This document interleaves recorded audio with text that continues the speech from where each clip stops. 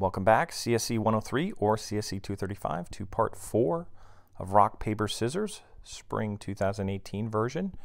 And we basically just use conditional statements to from just one button, still working just with one button, but we have our conditional statements and that's displaying the message. We already have our code from our function that's displaying the images and based on whatever images they are in our conditional statements, a different message will display. Now to make them look a little different, we're going to color them. And maybe we'll do that right now. So we're going to do that, and then we'll even use a little CSS so that we can um, we can make them change color a little bit so they look a little different. So they kind of because they all just kind of you know look the same right now. So what we're going to do, we're going to try something a little new.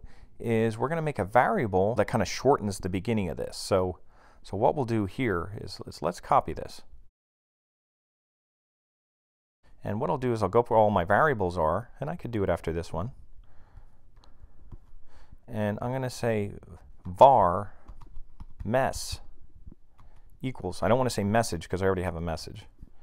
And let me just put a return here. It's a little different. And I'm going to say var mess document get element by, by ID message. And that's all I want. You might say, well, what does that do? Well, what that's going to do is it's actually going to represent this, so I don't have to type that. And it'll save me some time because what I'm going to do is apply a color to each one of these. So then I could just say mess dot style dot opacity. So this variable basically represents getting that message, getting that ID. So you might say, well, what, what does that do? That doesn't do anything. Well then, okay, let's say if we win, we want our color to be in green. So instead of doing document.get element by ID message dot style dot color equals green, we can go mess dot style dot color equals, and then in quote, we'll put green, and we'll do it capitalized because that's the way they show them in HTML colors. We'll use green, and we'll just, we won't use hex or anything like that. We'll just use green. We'll do that. And then that's a lot shorter. It's just easier to deal with. And then if we lose, it's going to be red. So we'll change it to be red. And that way it'll always be in that order, so we don't have to be jumbling the colors around. It'll always go green, red, and then for, for tie, we'll do blue and then I'll do blue here. So they'll just be standard RGB colors, RGB. And that means if we win, it's green. If we lose, it's red. And again, our variable just represents the first part of the statement. So it just kind of cuts off some, you know, just makes things a little easier to type.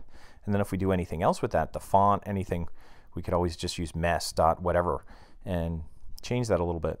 So let's see if this works. There we go, stalemate, that works, it's blue. Um, we lose, because paper covers rock and it's red, so that's bad, we lose. And we win, it's green. So everything's working here. So the colors are working. That wasn't that hard to do. We just applied a color and we did it inside the conditional statement. So that means it's only going to be green if you win. It's only going to be red if you lose. It's only going to be blue if you tie. That's why they're inside the conditional statement. So those are things that occur only when something happens. These things occur, the random number and displaying images, they occur every time you just hit the button. But after you hit the button, then these are the results of the certain conditions that came up. So that's good for now. So what we're going to do is we're going to set this up for the rest of these. And what we can do is we can copy this function, the entire function, make sure everything's working.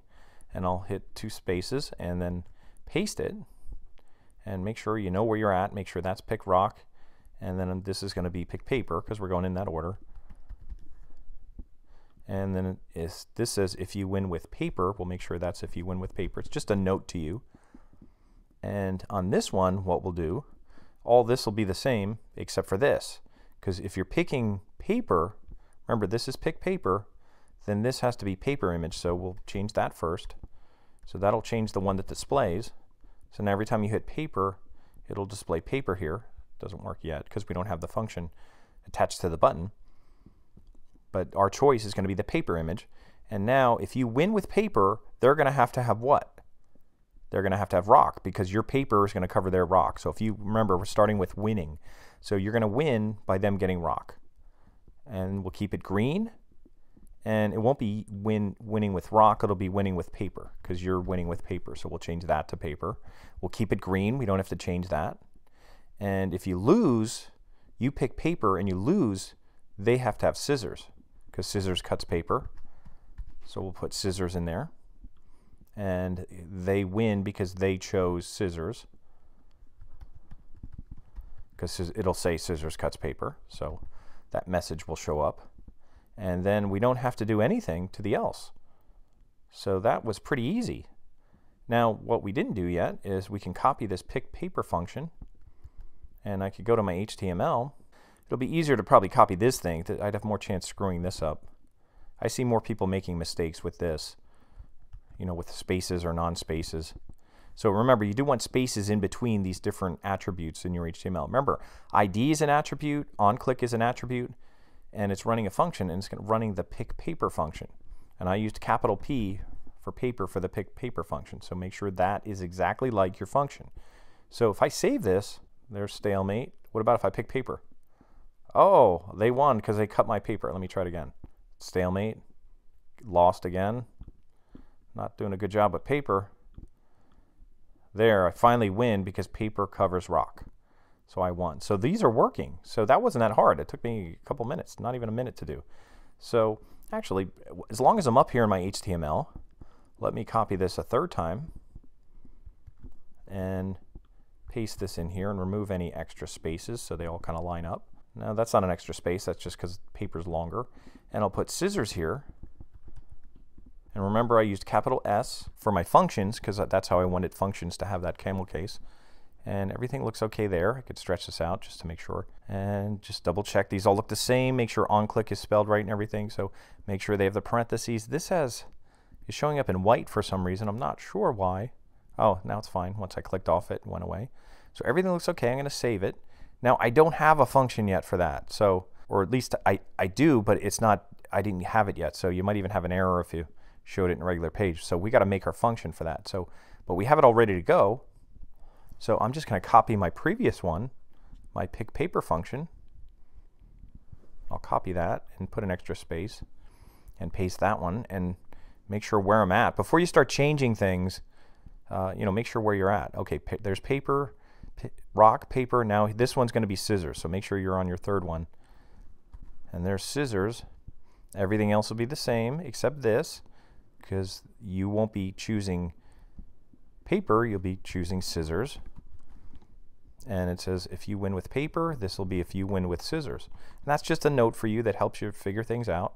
And again, if the first random number comes up, and if you're going to win and you pick scissors, that means they have to have, um, if you're going to win, they have to have paper because your scissors has to cut paper. So in order for you to beat them, they need to end up with paper.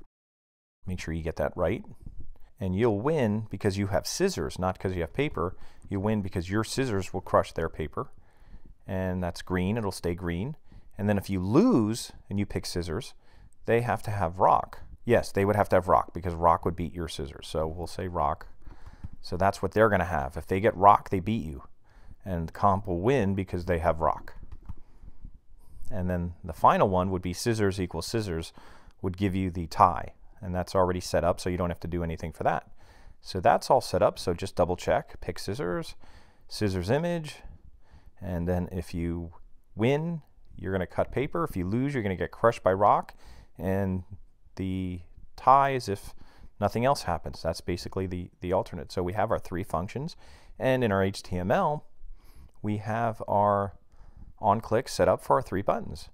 And they should be working, so let's just try this out. We'll go rock, rock, rock. Make sure you win, lose, and tie with each one. And then I'll try paper, lose, tie, lose, tie, lose. Now I win. Now let's try scissors, tie. I lose because I get crushed, tie. I lose. Now I win because I could cut paper. So all the scenarios are working. So this is pretty good. So in, in some cases for the 1, 103 class, we kind of stopped here. Uh, but what we're going to do for the 235 class is continue on so we can actually get points and then reset buttons and do all that. Um, but, but this is pretty good so far. You could do some, you know, if you wanted to do any CSS or anything like that, you could do a little bit. You know, I'll just throw a couple in here before I finish up this video. I'll put in one for um, just these things here. Maybe I'll put in image label, p class equals image label. So I made them specific in case I wanted to change them. So they're a class, so I'm going to do image label.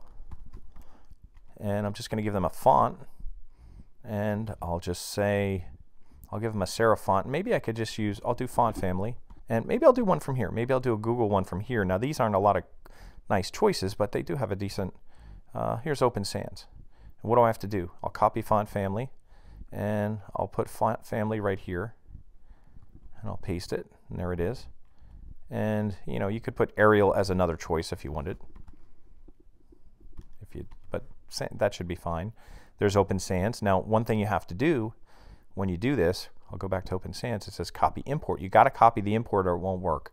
And you could put it right in the CSS. Just make it the first line in your CSS, copy the import, and that's basically saying use the Open Sans font. So that's telling me to use the Open Sans font, and I'm just using it for image label. And then maybe I could use something else. There's, again, there's not a huge, great choice here, although maybe I could use Merriweather for, for everything else. Um, I could use Merriweather for body, and then it could go over everything else. I'll close this up, scroll up here, close this up, and you can see, eh, maybe I want it bold. Now, if I want it bold, I could just do this, because it does give me, I think it gives me the whole family here. Open Sans 400, 400i, which is italic, and 700. So it's giving me the whole family. So what I'll do is I'll just say font weight, the HTML for for the weight of being bold. You could say bold or you could just say 700. Since it has 700 up there, we'll just say 700 and you can see it shows up bold now. And that's fine. And you could do it like that. Other things you could do if you want the buttons a little bigger, um, I'll just go button and make a style for button. And I'll put font size, make that a little bit bigger. I think you could start off by just doing 100% because that just might make the, even that makes the buttons bigger. And then even if you want to do something like this, since they're right close to each other, just say margin right and do like, I don't know, like 24 pixels or something. That kind of separates them a little bit, little distance between them. That way you don't have to put like, uh, you know, non-breaking spaces and stuff like that. And if you want a little distance, you could do margin bottom. And you could put a little margin below the buttons. I think this should work okay. That should put some space. Let's just see if this works. I'll put like 12 and that puts a little space in between there. Now we don't have to put keep this background color here. That was just to try it out. So it's not that necessary that we have that. So I don't I don't know if I necessarily have to do that yet. So actually I might take that out and I might take out the background color because this was just um, and here's another thing you could do. You could just highlight this and do command or control forward slash and it'll automatically comment that out. And that way, that's the way it'll look by default. And you don't need these IMGs here either. You know, sometimes you could do like blue boxes so people know where they're going to be. But that's all you need now. And one other thing I'll do here, just to make it look a little nicer, I'll put a body target and I'll just say margin. And I'll put a margin kind of all around because it's kind of a little tight to the side, like 12 picks. That'll spread it out a little more. Maybe, maybe I'll double that or maybe I'll make it 30. And that looks a little better. It gives us a little margin around it, and that looks okay. And look at that. Looks pretty nice. So everything looks okay. We just messed with the fonts a little bit. We could we could change these if we want, but I think what I'll do is I'll stop here, and then we'll we'll worry about uh, maybe doing a little more CSS, but also focusing on points, of kind of collecting points and assigning points as we go, and then when points add up, then we can disable buttons and we can then have to put a reset button to start over again. So that'll make it a little more interesting. But if you got this far, that's pretty good. This is part four, and we're going to stop here with part four. And part five will cover the points and some of that stuff. So if you only have to do the colors and all that, you're probably good.